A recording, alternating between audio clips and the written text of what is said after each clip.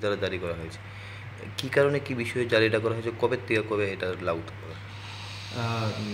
একটা অর্ডার একশো চৌচল্লিশ ধারা সিআরপিসিতে জারি করা হয়েছে, যেটা ফোর্স থাকবে আজকে সন্ধ্যায় ছটা থেকে কালকে সকাল ছটা পর্যন্ত। এর মাধ্যমে বিভিন্ন রেস্ট্রিকশন যেগুলি আছে, পাঁচজন বা তার বেশি কোথাও একত্রিত হতে পারবে না। তারপর বিভিন্ন যেমন ওয়েপন অফ অফেন্স বা এই ধরনের কিছু যেমন লাঠি যেগুলো ওয়েপন হিসাবে ব্যবহার করা যায়, সেগুলো নিয়ে কোনো চলাফেরা করা যাবে না। এই ধরনের রেস্ট্রিকশন আমরা কয়েকটা রিপোর্ট ইনফরমেশন এই ধরনের পেয়েছি যেখানে কয়েকটা ইনসিডেন্ট এরকম হয়েছে।